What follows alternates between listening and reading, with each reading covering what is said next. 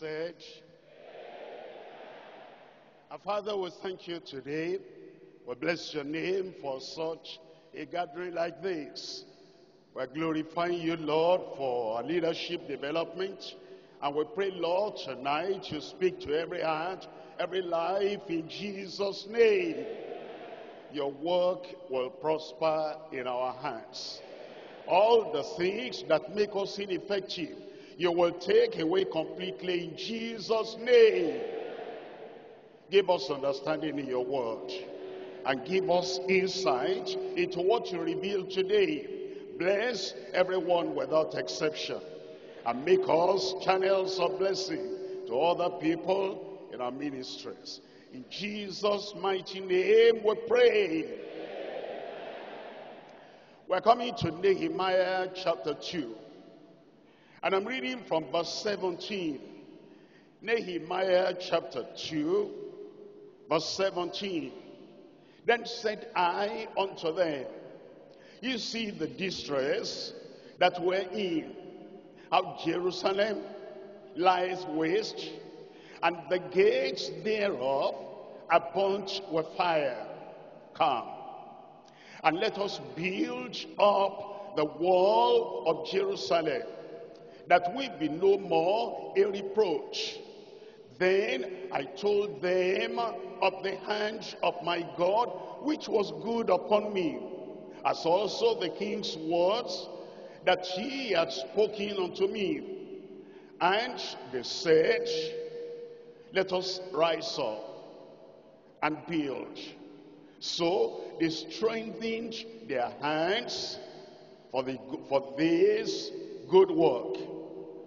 I told you last uh, week that I'm starting a new series. And each of the Tuesdays, by the grace of God, I'll take a whole book of the Bible. And then we'll run through and we'll learn leadership principles in that whole book. Today happens to be Nehemiah. And we're going to look at Nehemiah and see what God has preserved for us as we think, as we talk about leadership.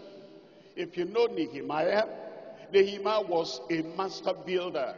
In the Old Testament, he was practical, he was proactive, he was prayerful, he was dynamic, he was courageous, he was single-minded.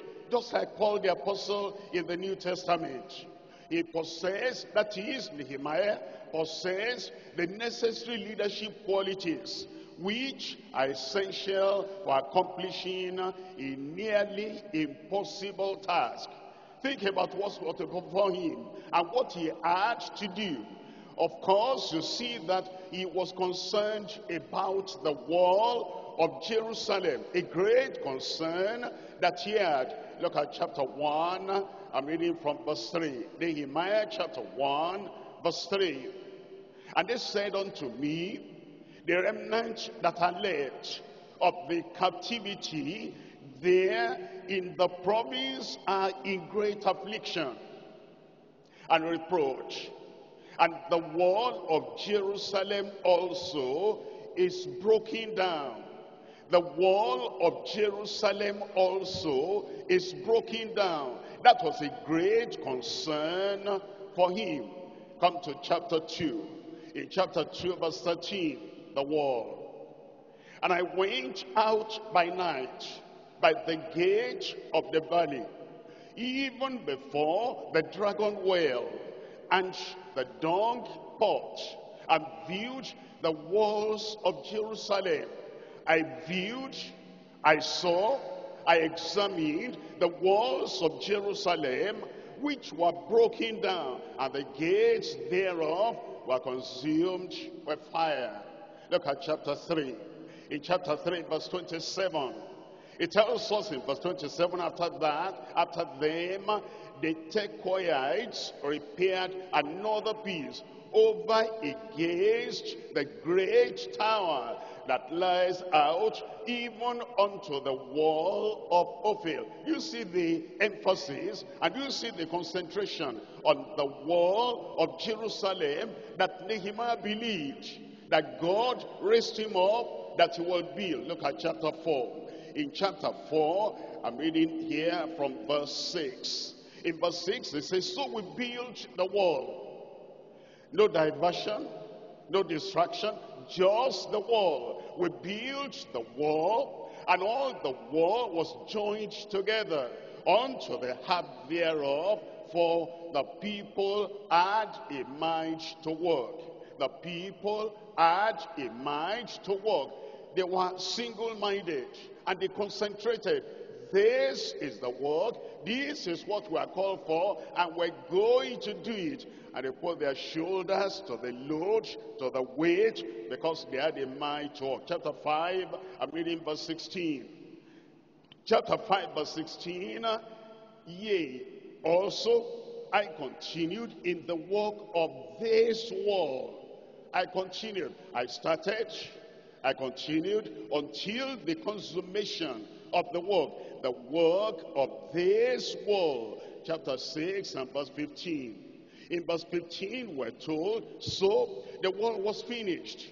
In the 20 and fifth day of the month Elul, in 50 and two days. And so you have seen uh, the concentration is calling, is consecration, is concentration, is conviction, what he ought to do. But the question is, as we're thinking about the wall, say, what's the big deal about the wall? For the people of Israel, naturally. For the people of Judah, naturally. And for the people today, spiritually the wall signifies for them seven things. Number one, there was possession because of the wall. When you have the wall around the property, there's possession right there. That's what Ezra chapter 9 verse 9 tells us. Number two, there's a partition.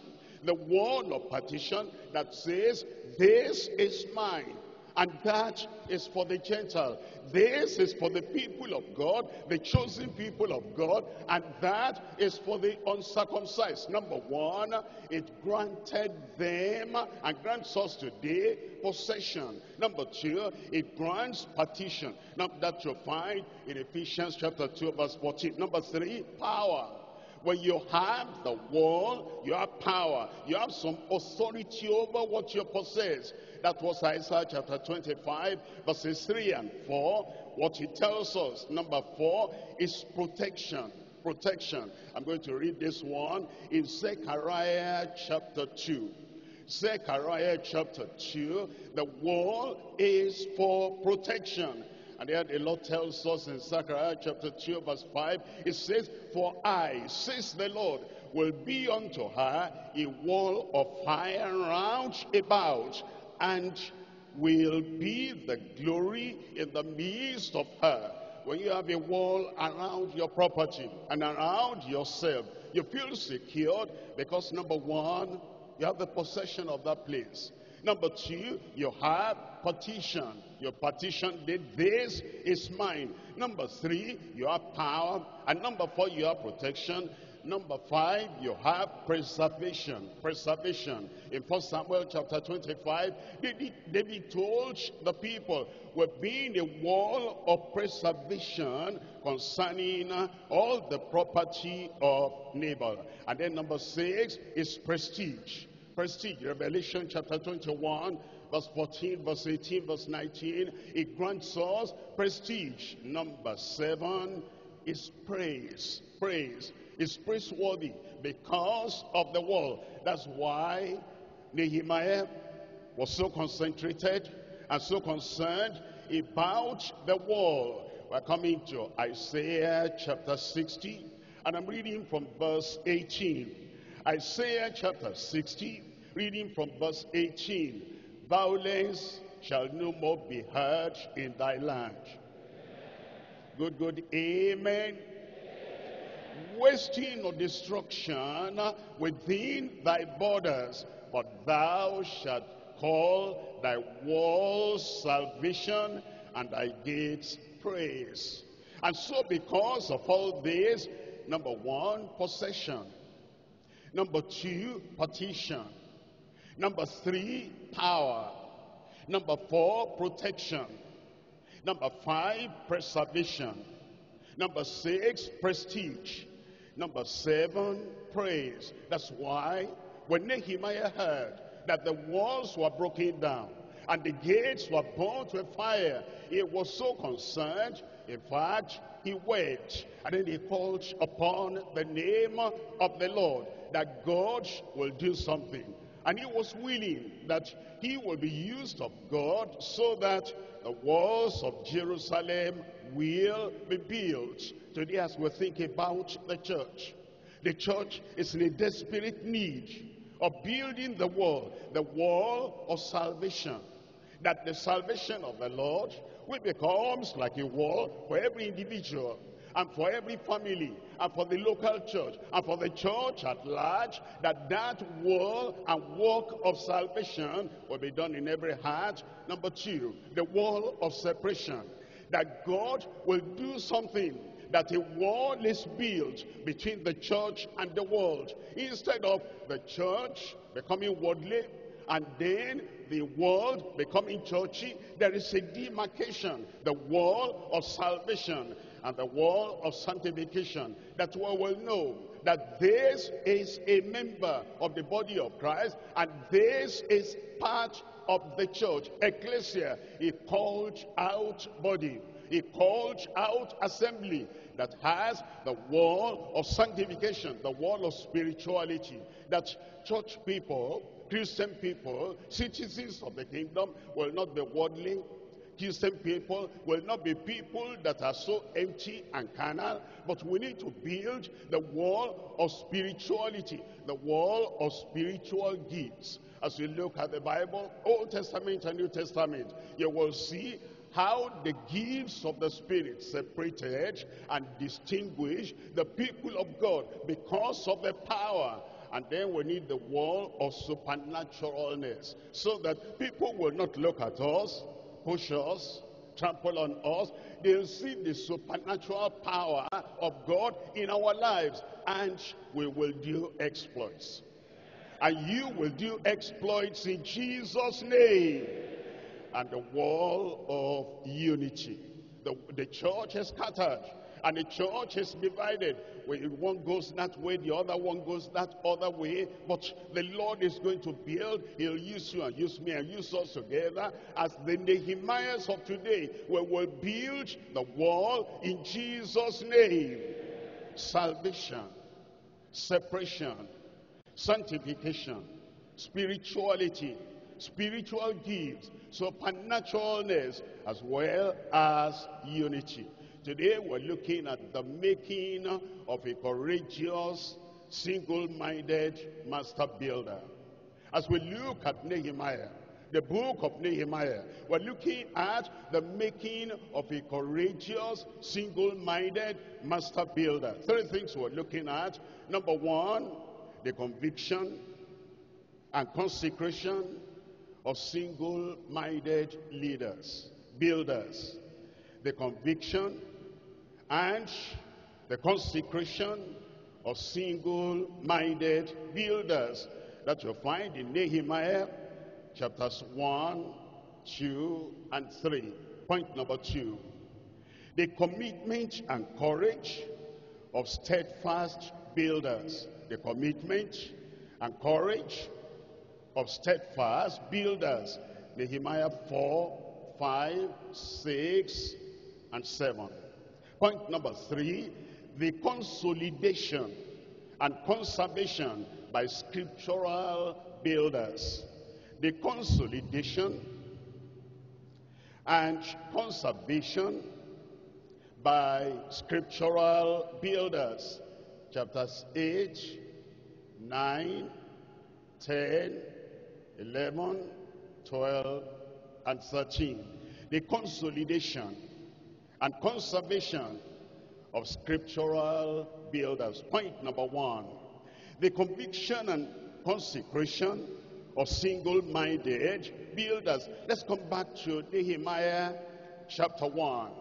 In Nehemiah chapter 1, you'll find out how Nehemiah heard and what made him to take on the project that he took on, the conviction and the consecration of single-minded builders. I'm looking at Nehemiah chapter 1 from verse 1. The words of Nehemiah, the son of Hachaliah. And it came to pass in the month of Chislev, in the twelfth year, as I was in Shushan, the palace, and Anani, one of my brethren, came, he and certain men of Judah. And I asked concerning the Jews that were escaped. I was interested. I took interest. I interrogated, I interviewed, and I asked about the Jews that escaped, which were led of the captivity, and concerning Jerusalem. And they said unto me, the remnant that are led of the captivity there in the province are in great affliction and in great reproach. And the wall of Jerusalem also is broken down, and the gates thereof are burnt with fire. And it came to pass in verse 4, when I heard these words, that I sat down and wept. He internalized the message, the breaking down of the wall and the burning of the gate. He said, I heard that and it did something in me. It broke me down. The broken walls broke his heart. Then he said, I sat down, I wept, I mourned certain days and fasted and prayed before the God of heaven. If you have a burden in the heart, it will not take long until the people you serve and the people you company with, they will notice. Look at verse 11. In verse 11, O Lord, I beseech thee, let now thine ear be attentive to the prayer of thy servant and to the prayer of thy servants. He wasn't the only person concerned. Other people too, thy servant Nehemiah and thy servants, others, who desire to fear thy name and prosper. I pray thee, thy servant, that's me, that's Nehemiah, this day and grant him mercy in the sight of this man. I was talking about the king of the land that he served, for I was the king's cupbearer. Come to chapter 2.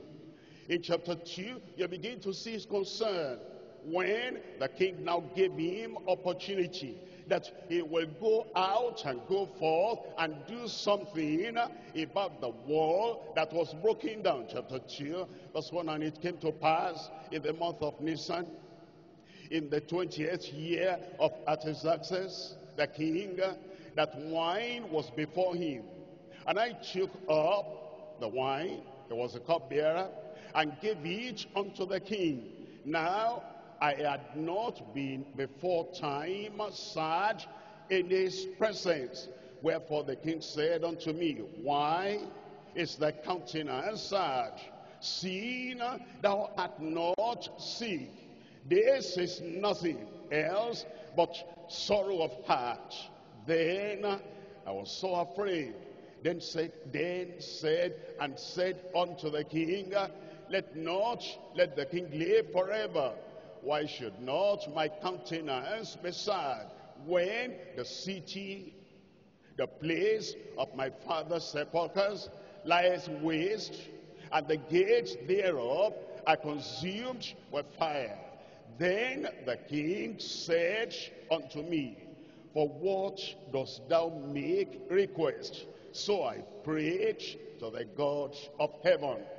You are following the flow of the story. It was sad. He was sorrowful. His heart was broken because of the spiritual condition of the people and because of the physical condition of the people too. And that sorrow appeared in his, on his countenance. And the king asked him, what's the matter? What's happening to you? And then he said, I'm sad for one thing. I'm well placed here. I have a job here. I have a lucrative job. I have money. Everything is all right.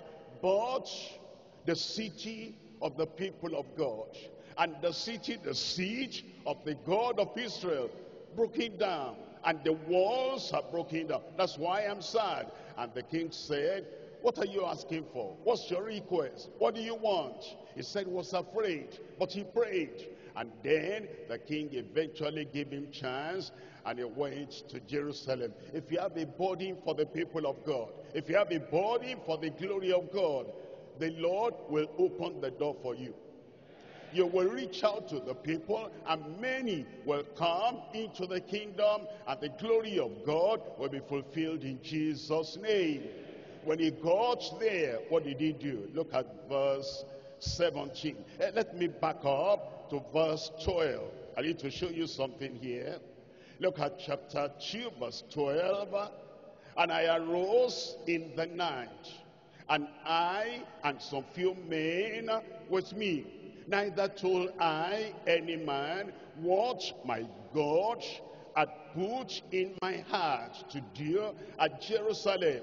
Neither was there any beast with me, save except the beast that I rode. Look at this, verse 13 and I went out by night. Underline that. I went, I went, I went. Look at verse 14. Then I went. Then I went. Look at verse 15. Then I went. A person that says he has a vision is not on the move. It's not on the go. It's, stand, it's standing, it's uh, staying static in one place. You will not achieve or accomplish anything. But he said, then I went, then I went, then I went. And then verse 17, then said I unto them, you see the distress that we are in, how Jerusalem lies waste, and the gates thereof are burnt with fire. Come, let us build the wall of Jerusalem, that we be no more a reproach. Then I told them of the hand of my God, which was good upon me, as also the king's words that he had spoken unto me. And they said, let us rise up and build. He said, let us rise up and build. They responded, let us rise up and build. They were united in their vision. They were united in the commission. They were united in the dedication to do the work. They were united in their consecration. He said, let us rise up and build. And they responded, let us rise up and build. So they strengthened their hands for this good work. They didn't weaken each other. They didn't attack each other. They didn't slander each other. They didn't pull down each other. They lifted up each other's hands and they strengthened each other But this good work. Chapter 3, verse 1. In chapter 3, verse 1, then Eliashib, the high priest, rose up with his brethren, the priests, and they builded the sheep gate. Everyone got involved. The high priest, the priest, and all the other priests or their brethren, they join in uh, in the work, in the assignment before the church, building the wall of the kingdom of God, building the wall of salvation, and building the wall of service unto the Lord, building the wall of soul winning and building the wall of commitment to the work of God. Everybody will be involved. You will be involved. I will be involved. And it is only in that way that we don't have clergy and laity and say the work is in their hand they are paid to do that. Or maybe the clergy would say, those other younger people, the laity, they are still strong. They will do it when everybody rises up. when everybody addresses the issue of the day and everybody says, I'm going to put in everything there is in my heart, in my hand, in my background, in my training, and we're going to do it. The work will be done. You will not be missing there. Look at verse 5 of chapter 3. Chapter 3, verse 5. It says in verse 5, And next unto them the Tekoites repaired, but their nobles put not their neck to the work of their Lord. If you shirk your duty, if you dodge responsibility, the record will be in the book of God in heaven. You will not run away from a challenge in Jesus' name. Nothing of eternal value, nothing of eternal significance can be done in Christ's kingdom without conviction and without consecration. As we have seen, the passages we have read, Nehemiah's heart was deeply stirred when he heard and when he saw the deplorable condition of God's people. And so he prayed, and so he pursued, and so he prepared himself and so he gave himself unreservedly to the work the Lord had called him to. In his prayer and in his consecration, we find that he was fully surrendered unto God. Totally, completely, without reservation, surrendered unto the Lord. Many people, sometimes they are asking, when you talk about conviction, when you talk about consecration, what does that really mean? How can I see in practical terms what the conviction is all about? How can I see in practical terms what the consecration is all about? Number one, Nehemiah did not count any price too high to pay. No price too high to pay. He said, I'm ready. I'll give up anything I'll deny myself of anything so that this work will be done. No price too high to pay. Number two, no path too rough to traverse. Was going to go from where he was, was going to go to Jerusalem. The road was rough. Things were not certain and the security on the road, he couldn't be definite about that. But he said, here is conviction. Here is something I believe the Lord has called me to do. And because of that, there was no path too rough to traverse. Number three, no pain too severe to endure. The pain of the road and the pain of the sorrow and the suffering he was going to meet there on the field, he said, this is what I'm talking about. I have conviction. This is what I'm talking about. I am completely sold to this enterprise. No pain too severe to endure. Number four, no persecution too grievous to bear. To Tobiah rose up, Sanballat rose up, Opposers rose up, adversaries rose up, slanderers rose up, false people rose up. He said, I can take that. I can take everything. The fire that burns on the inside is greater than the fire that burns on the outside because he counted no persecution too grievous to bear. That's why he did what he did. Number five, no position too lucrative to give up. You know, he was settled in a great work where he was. But he said, never mind, I'll give up anything. And when you think about the salvation of souls today, and you think about the people who are perishing, and you think about the people who are to go out and rescue the perishing, no position will be too lucrative to give up. Number, number six, no pleasure too dear to forsake. No pleasure too dear to forsake. This is what hinders people. I enjoy the comfort of this place. I enjoy the pleasure in this uh, place.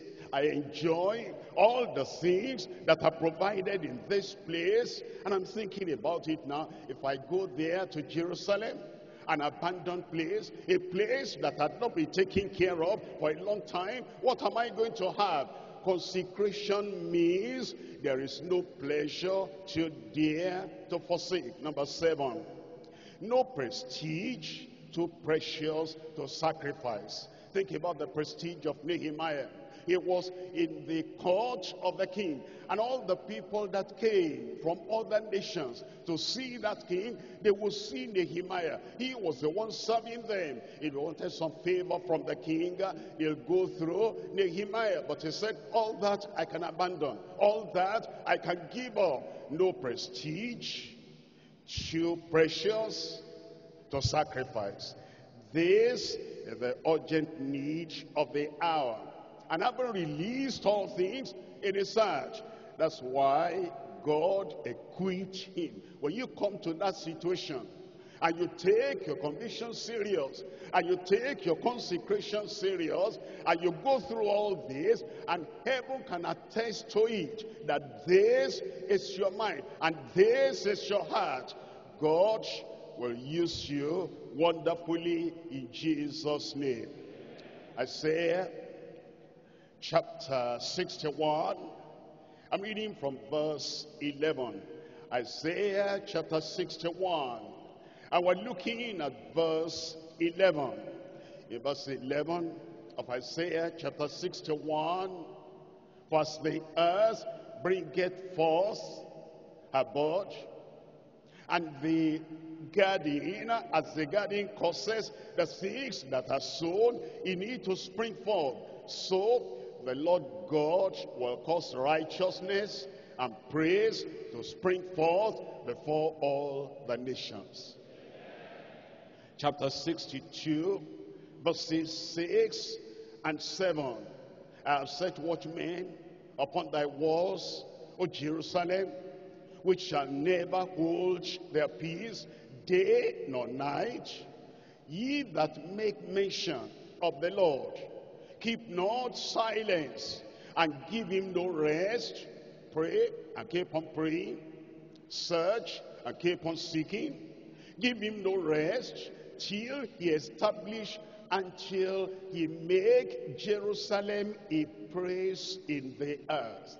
The church in our land, the church in our nation, the church in our continent will rise up and shine again. Look at Psalm 132. Psalm 132. I'm reading from verse 4. 132 of the Psalms, verses 4 and 5. I will not give sleep to mine eyes, nor slumber to mine eyelids, until I find out a place for the Lord and habitation for the mighty God of Jacob. That's consecration. That's commitment. That's conviction. I'm not going to rest. I'm not going to take my ease. I'm not going to sleep until the name of the Lord is known and until the church becomes a glorious church, not having spot, not having wrinkle, and then we prepare the church for the coming of the Lord. You'll be part of it. We'll all be part of this in Jesus' name. Point number two now, the commitment and courage of steadfast builders the commitment and courage of steadfast builders. We're coming back to Nehemiah, and I'm reading from chapter 4, verse 1. Nehemiah chapter 4, and we're reading from verse 1. Look at this, it says, and it came to pass that when Sanballat heard that we builded the wall, he was wroth, and he took great indignation, and he mocked the Jews and he spake before his brethren the, and the army of, of Samaria and said, What do these Jews? Will they fortify themselves? Will they sacrifice? Will they make an end in a day? Will they revive the stones out of the heaps of the rubbish which are burnt? Verse 3, Now Tobiah, the Ammonite, was by him, and he said, Even that which they build, if a fox go up, he shall even break down the stone wall. Sometimes there are people that cannot live with slander, with persecution, with name calling, with insult, with assault. They cannot live with ridicule. But you see, Nehemiah was ridicule. It was to divert his attention from what he was called to do.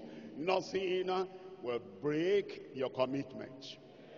Nothing will destroy what you have set your mind upon. You will do it. It will be done in Jesus' name. And look at uh, verse 4 here. Here, O our God, for we are despised and turn their reproach upon their own head and give them for a prey in the land of captivity. And cover not their iniquity and let not their sin be blotted out from before thee for they have provoked thee to anger before the builders. Verse 6 so built we the wall they made jest, so built we the wall. They ridiculed, so built we the wall. They belittled the work what we're doing, so built we the wall. They kind of put us down as if we can never come up and we can never do good. And they stone wall can never be broken. It says, so we built the wall. It was like there was confusion. It was like degradation. Everything was on the downward trend. So we built the wall. You know what Nehemiah is telling you and telling me? Whatever they do, whatever they say, however they talk, and whatever insult or, or assault, we're going to also say, so we built the wall. Can you say that? Say that again. So built we the wall, and all the wall was joined together unto the half thereof, and the people, for the people had a mind to work. The people have a mind to work. Look at verse 14. In verse 14, and I looked, and Russell and said unto the nobles and to the rulers and to the rest of the people, Be not afraid of them. Fear paralyzes. Be not afraid of them. Fear will make you to even forget where you are going. And the vision you said you possess. Be not afraid of them. Remember the Lord. Remember the Lord. Whenever you remember the Lord, his strength, his power, his calling, his ability, you'll not fear because you know he that is with us is greater than he that is in the world. A good, good amen.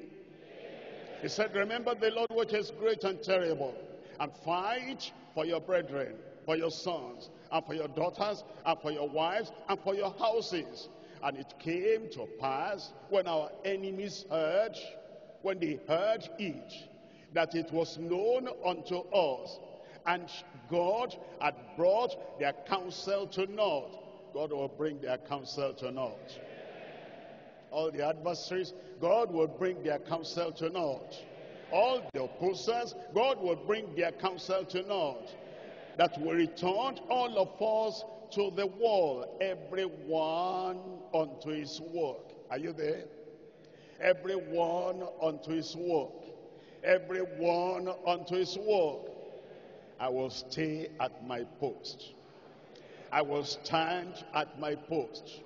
I will minister at my post. Nothing will shake you out of your post in Jesus' name. And then we come to chapter 5. Chapter 5, verse 3.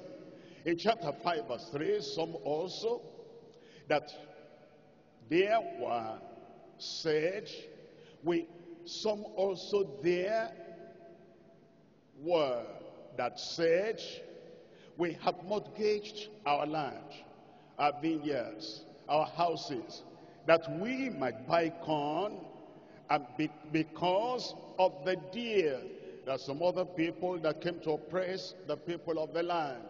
And these people were Israelites themselves. And so Nehemiah confronted them, verse 8, and I said unto them, We after our ability have redeemed our brethren the Jews, which were sold unto the heathen. And will ye even sell your brethren? He was bold, he was courageous. Whatever was wrong, he was ready to put everything right, like you are going to do. Chapter 6, verse 1. Now it came to pass when Sanballat and Tobiah and Geshem, the Arabian, and the rest of our enemies heard that I had builded the wall. They will hear. I said they will hear that your hands are on the plow. They will hear that you address your strength, everything you've got to the work of the Lord. If you are succeeding, it, it will not be kept in the secret. They will hear that you are succeeding. Your success, your progress in the ministry, in the work of God will be known to all men beyond you in Jesus' name. And that there was no breach left therein. Though at that time I had not set up the doors even upon the gates that Sanballat and Geshem said unto me, saying, Come, let us meet together in some one of the villages in the plain of Ono, that but they thought to do me mischief. And I sent messengers unto them, saying, I am doing a great work. Are you doing a great work? Preaching the gospel. I am doing a great work. Helping people to be converted out of sin to the Savior. I am doing a great work. Discipling the converts and making them to know the word of the Lord, the way of the Lord, and the will of God. I am doing a great work. Counseling, teaching, preaching, helping people to grow in the faith. I am doing a great work. Evangelizing, having crusades, and healing the sick, and delivering the oppressed. I am doing a great work. Your time uh, will be precious to you. Your time uh, will be precious to God. He sent messengers unto them saying, I am doing a great work so that I cannot come down. Why should the work cease while I leave it and come down unto you? Yet in verse 4, they sent unto me four times after this sort. And I answered them after the same manner. And then they changed their tactics, but he continued. Why? A man of courage, a man that had commitment. Look at chapter 7, verses 5 and 6. And my God put into my heart to gather together the nobles and the rulers and the people that they might be reckoned by genealogy. He says, I found the register. I wanted to make sure everybody that should be in is in and you'll make sure everybody in your community that ought to come into the kingdom through you, they'll come in in Jesus' name. Now, you understand, all this that Nehemiah did, he was courageous. Courage. Whatever knowledge you have, without courage, that knowledge will not be useful to anybody. Whatever training you have, That training will not be useful if you don't have courage. Whatever concern you have, I'm concerned, I have compassion. If you don't have courage, you'll not even come out of the door of your house. Whatever vision you have, without courage, whatever plans and whatever proposals, without courage, all will remain in the cold room of your lethargic heart. And when the meat is in the cold room, it's in the fridge, you cannot just bring it out and eat it. You must set it on fire. And it is courage that says what you've got, your knowledge, your training, your concern, your compassion, your vision, your plans, your proposals, and your opportunities. It is courage that sets everything on fire because he was courageous, he did what he did. Cowards will never amount to anything in the kingdom of God. You'll not be a coward. I will not be a coward. You're talking like cowards. You'll not be a coward in Jesus' name. The heavenly vision needs a steady level of courage if the good work will continue until a profitable ending.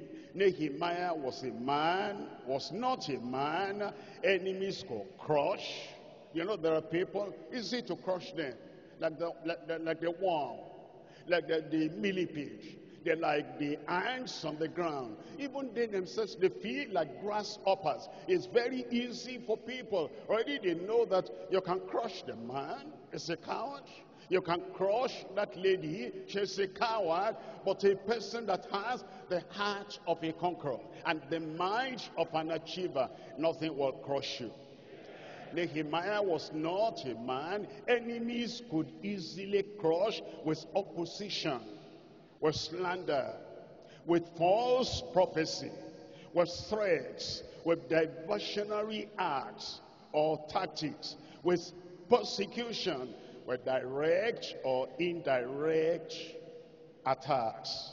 He had the courage and the mindset of a conqueror. That's what you need today, the courage and the mindset of a conqueror. What do you need today? The courage and the mindset of a conqueror. I said, what do you need today? Resolute and relentless. He walked with the courage, number one, of a seer. He could see. He could see the future. I see the walls all built. I see the glory coming back. I see the strength of the people of God. And because of what he saw, he was a man of courage, the courage of a seer. Number two, the courage of a soldier. The courage of a soldier. He has prepared his mind. The God of heaven is going with me. I'm going to the battlefield and I'm going to earnestly contend for the broken walls of Jerusalem those walls are going to be built. And when you go forth with the courage of a seer, the courage of a soldier, you'll honestly contend for the faith was delivered unto the saints in Jesus' name. He went out with the courage of a standard bearer. The courage of a standard bearer. He looked at all of Jerusalem and he could not see anybody lifting up the standard. And he said, Lord, I volunteer. Lord, I give myself. Lord, I am available. You'll be available. Lord, I will be faithful. You'll be faithful in Jesus' name. He went forth with the courage of his standard bearer. Number four, he went out with the courage of a single-minded seeker. He was seeking the glory of God. He was seeking the, the, the strength of Israel. He was seeking the dignity of the people of God. Single-minded seeker. Here is what I'm looking for. Here is what I'm going to have. Until I see this in the land, I will not trust the courage of a single-minded seeker. He went forth with the courage of a shepherd. David said, I was tending, taking care of the sheep of my father. And a lion came, wasn't a coward. I rushed at that lion, held him by the beard, tore him to pieces with my bare hands. A bear came. You have to be courageous to do this. That you're not allow the least of the sheep of God, the least of the people of God to be devastated, to be destroyed, and then to perish. It says, I took that bear, I killed him. And he says that God who was with me, and I killed the lion, and I killed the bear, that same God will be with you. This uncircumcised Philistine will be like one of them. The courage of a shepherd. Number six, the courage of a strategist. He was a strategist. Before he got there, he had visualized, I'm going to Jerusalem. I'll meet this, I'll meet that. This is how I deal with that. I will see all the broken walls. I'll see the gates that are burnt up. This how I'm going to raise that up. I'm going to see the nobles that are lethargic, the nobles that are dull of hearing, the nobles that will not put their shoulders to the, to the work. Here is going, I am going to do it. And I'm going to do it this way. Here is the administration. Here is the division of labor. Here is what I will do. It was a strategist. And he went there with the courage of a strategist. And that's what we need, the courage of a seer, the courage of a soldier, the courage of a standard bearer, the courage of a single-minded seeker, the courage of a shepherd, the courage of a strategist, the courage, number seven, of a sustainer. The courage of a sustainer. He sustained the work. There are some people, they cannot sustain their energy. Yesterday, they were strong and they ran fast. Today, they have slowed down. They are not sustainers. Yesterday, they had a bright vision.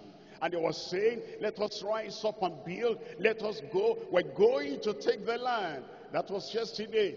Today now, they're lukewarm and they're lethargic. You cannot depend upon them today. But you know Nehemiah?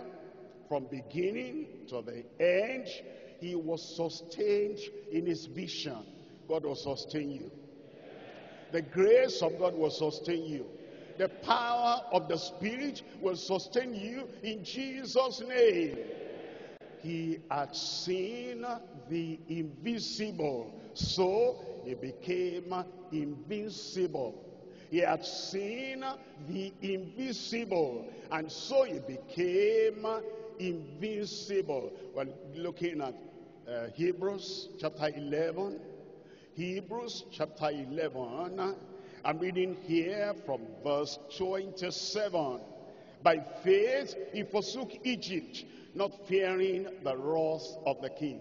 For he endured as seeing him who is invisible. And when you see the invisible, his might, his strength, his power, his glory, and his exaltation. When you see the invisible, you become invincible. You'll have courage. Joshua chapter 1. I'm reading from verse 5. Joshua chapter 1. We're reading from verse 5. Courage. There shall not any man be able to stand before thee all the days of thy life. That promise is mine. I said that promise is mine. At your age now, no man shall be able to stand before you. In a few years' time, when you grow older, no man shall be able to stand before you. When you go into the midst of those Canaanites, no man shall be able to stand before you. On the hill, in the valley, beside the waters, in the city, in the village, anywhere you go, there shall no man be able to stand before you all the days of thy life. As I was with Moses, so I will be with thee. I will not fail thee, nor forsake thee. Be strong and of a good courage. For unto these people shalt thou divide for an inheritance the land which I swear unto their fathers to give them. Only be thou strong and very courageous, that thou mayest observe to do according to all the law which Moses my servant commanded thee. Turn not from me to the right hand or to the left hand, that thou mayest prosper. Somebody there will prosper. That thou mayest prosper whithersoever thou goest. This book of the law shall not depart out of thy mouth. But thou shalt meditate therein day and night, that thou mayest observe to do according to all that is written therein. For then uh, thou shalt make thy way prosperous. Amen. And then uh, thou shalt have good success. Verse 9, Have not I commanded thee, be strong and of a good courage. If you don't have courage, while you are very near the victory line, you'll turn back as if there's no way. There's a way open before you. Be not afraid, neither be thou dismayed, for the Lord thy God is with thee, whithersoever thou goest. And somebody said, Second Timothy, Second Timothy chapter 2. Second Timothy chapter 2, I'm reading from verse 3. Thou therefore endure hardness as a good soldier of Jesus Christ. Endure hardness as a good soldier of Jesus Christ. No man that worries entangleth himself with the affairs of this life, that he may please him who has chosen him to be a soldier. Your work will please the Lord. Your ministry will please the Lord. And all your endeavors will please the Lord in Jesus' name. We're coming to point number three now. The consolidation and conservation by scriptural builders. Consolidation and conservation by scriptural builders. Nehemiah chapter 8, I'm reading from verse 1. And all the people gathered themselves together as one man, no stranger, as one man, no division, as one man, no arguments, as one man, no diversions, as one man, no other thought and no other intention. They all gathered as one man into the street that was before the water gate. And they spake unto Ezra the scribe to bring the book. Bring the book. They all agreed together. They said there's no other thing to think about, no other thing to discuss, and no other things to deliberate on. Bring the book. Look at verse 2. And Ezra the priest brought the law before the congregation, both of men and women, and all that could hear with understanding upon the first day of the seventh month. When he brought the book, look at verse 8. So they read in the book of the law of God distinctly and gave the sense, interpreted it, and caused them to understand the reading. They caused them to understand the reading. And when they heard, look at the latter part of verse 9, for all the people wept when they heard the words of the Lord. It brought conviction to them. They saw they were transgressors. They saw they had gone out of the way. And with sorrow heart and with contrition, they now called upon the Lord. They wept when they heard the words of the Lord. And then in the latter part of verse uh, 10, it says, This day is, uh, is holy unto the Lord. Neither be ye sorry. You'll be sorrowful for your sin. Believe the Lord now is a merciful God. Is a forgiving God. Is a pardoning God. For the joy of the Lord is your strength. The joy of the Lord will be your strength. And then uh, they taught them more and more. And they obeyed the word of God and they did that with gladness. Verse 17, verse 18. And all the congregation of them that were come again out of the captivity made booths.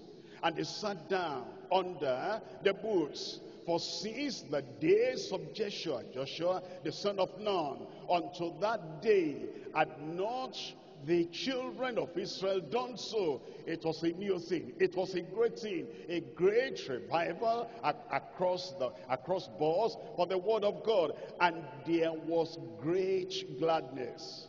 Also, day by day. From the first day until the last day. He read in the book of the law of God.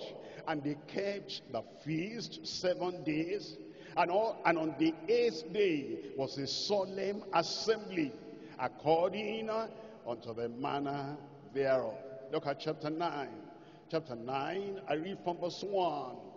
Now, in the 24th day of this month, the children of Israel were assembled were fasting and were sackcloth and earth upon them. And the seed of Israel separated themselves from all strangers. Be not unequally yoked together with unbelievers. And they obeyed the word of God.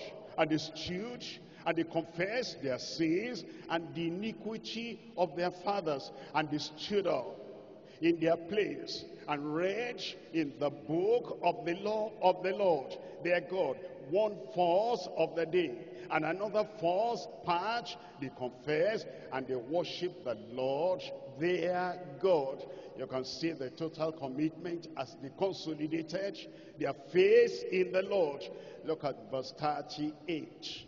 In verse 38, and because of all this, we make a sure covenant and write it, and our princes and Levites and priests sealed it.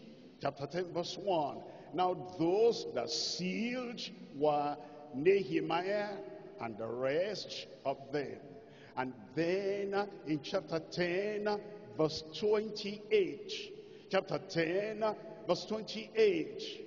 And the rest of the people, the priests, the Levites, the porters, the singers, the naked names and all they that had separated themselves from the people of the lands unto the law of God.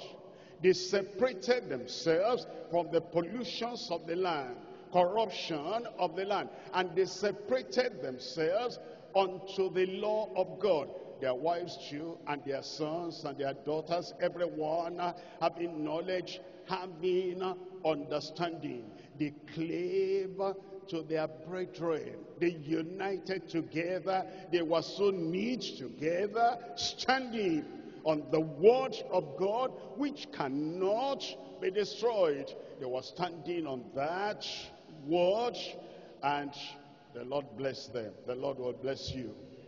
Chapter 11, verses 1 and 2.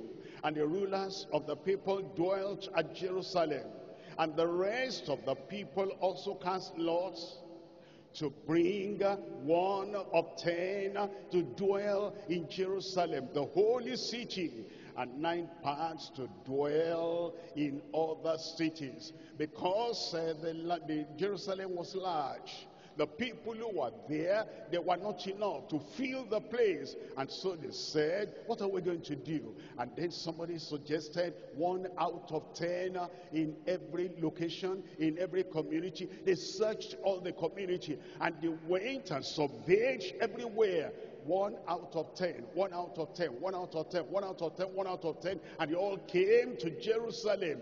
The unity was so much among them. It will happen again. I said it will happen again. Chapter 12, I'm reading from verse 1. Now these are the priests and the Levites that went up with Zerubbabel. They took records and they saw the people that went. Look at verse 27. In verse 27, and at the dedication of the wall of Jerusalem, they sought the Levites out of all their places to bring them to Jerusalem. And you know, the beauty of each, come. Nobody said no, come. Nobody gave excuse, come. Nobody said, I have another more important thing, come. And nobody said, no, not at this time. I'm thinking of another time. The moment they pointed at them, you are to be there, you are to be there, you are to be there. Everybody agreed. What unity? That unity will continue in our midst in Jesus' name. When we hear the word of God, you will not give excuse. Amen when it comes to your turn, this is what you do. You will not say no in Jesus' name. It says to bring them to Jerusalem, to keep the dedication and with gladness, with thanksgiving, with singing, and with cymbals, and with psalteries, and with harps. And the sons of the singers gathered themselves together both out of the plain country, round about Jerusalem, and from the villages. It went on like that. Now, chapter 13. In chapter 13, I'm reading here from verse 7. Chapter 13, verse 7. And I came to Jerusalem and understood of the evil that Eliashib did for Tobiah in preparing a chamber in the court of the house of God. And it grieved me so. Therefore, I cast forth all the household stuff of Tobiah out of the chamber. Then I commanded, you see, this was a real leader. His knees were not weak in prayer. His feet were not weak in preaching. His mouth was not weak in declaring the might of God. His heart was not weak in standing, standing for the truth. That's the kind of leader God needs today. And you will be in Jesus' name. Then I commanded. I didn't suggest, I commanded. I didn't give an opinion, I commanded. Then I commanded, and they cleansed the chambers, Thither and thither brought I again the vessels of the house of God, and with meat offering and the frankincense. And I perceived that the portion of the Levites had not been given to them. And so he regularized that again. Look at verse 11. Then contended I with the rulers contended I with the rulers. There are some of the rulers, some of the leaders, they were not acting right. They were not obeying the word of God. He didn't say, the rulers, I don't want trouble. I don't want any division. I don't want any routing. I don't want mutiny. So I'm going to keep quiet. He said, no, I contended with the rulers and said, why is the house of God forsaken? And I gathered them together and set them in their place. God will give you that kind of courage and that kind of commitment. And you will do what needs to be done in Jesus' name. Look at verse 17. In verse 17, then I contended with the nobles of Judah Look at this man. He didn't say that somebody was untouchable because of their position. Somebody, you cannot teach them the word of God because of the way they have uh, comported themselves. He said, no, even the nobles, I contended with the nobles of Judah and said unto them, what evil sin is this that ye do and profane the Sabbath? Come to verse 25. Verse 25, and I contended with them. Look at that. I contended with them. I pray the spirit of the conqueror will be in your heart in Jesus' name. Nobody will be committing sin uh, with impunity in your sight, and then uh, you're so afraid you cannot talk. That fear, God drive away from every heart in Jesus' name. Look at verse 26. Did not Solomon king of Judah, sin by these things, yet among many nations was there no king like him, who was Lord of his God. And God made him king over all Israel. Nevertheless, even him, wise Solomon, even him, rich Solomon, even him, popular Solomon. Even him, well-known preacher, did outlandish women cause to sin. Outlandish women will not cause you to sin. Tempters will not cause you to sin. Temptresses will not cause you to sin. Money, love of money will not cause you to sin. Verse 27, shall we then hearken unto you to do all this great evil, to transgress against our God in marrying strange wives? God forbid. I said, God forbid. The Lord will make us stand in Jesus' name. You have seen uh, what Nehemiah did. He's come and gone. Now it's my turn. Now it's my turn. We're going to raise the foundation again. We're going to build the foundation again. Psalm 11 verse 3. Psalm 11 verse 3. If the foundations be destroyed, what can the righteous do? Let's examine the foundation. The foundation of faith.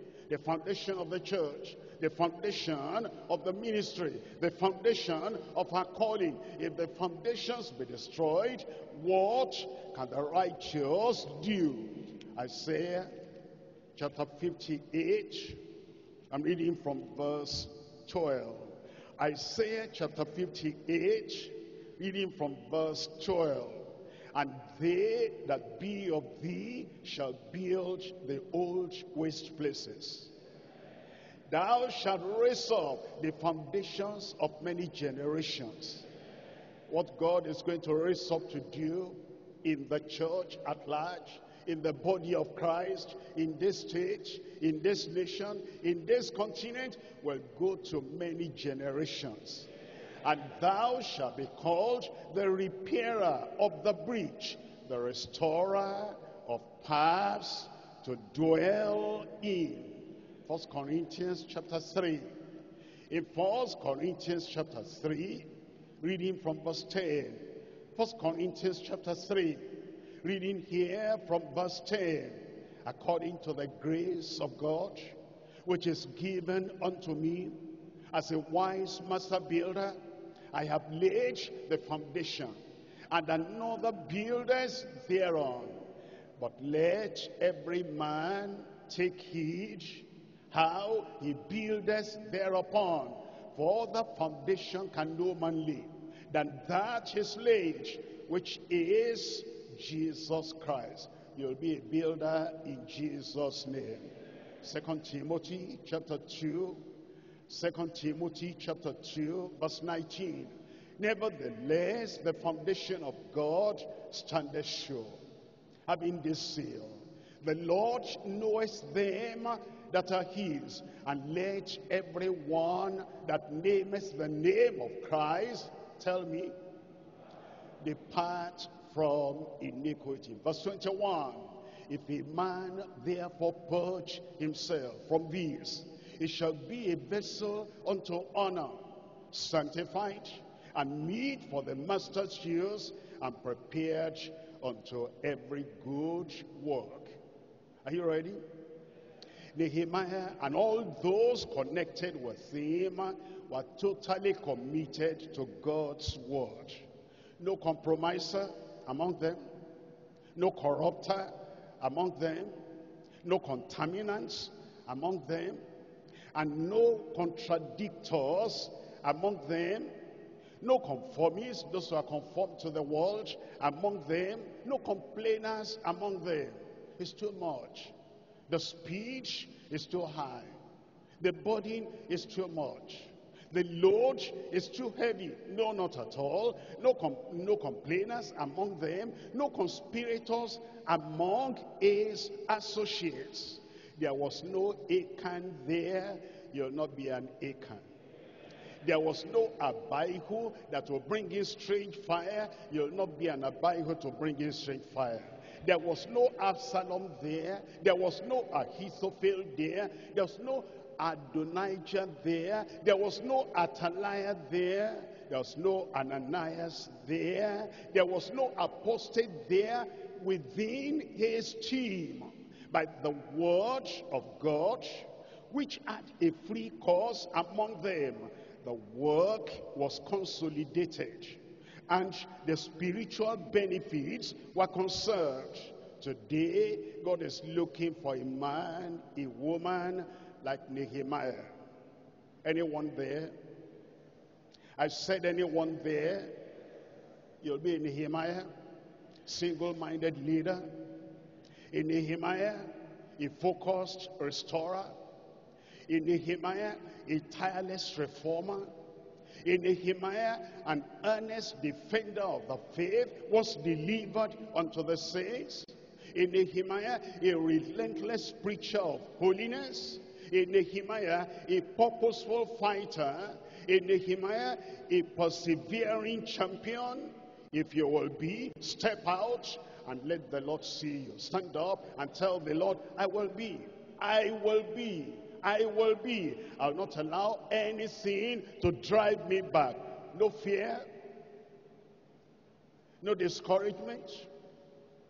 No distraction. Lord, I am ready. Let the hand of God be upon you and be in Nehemiah today.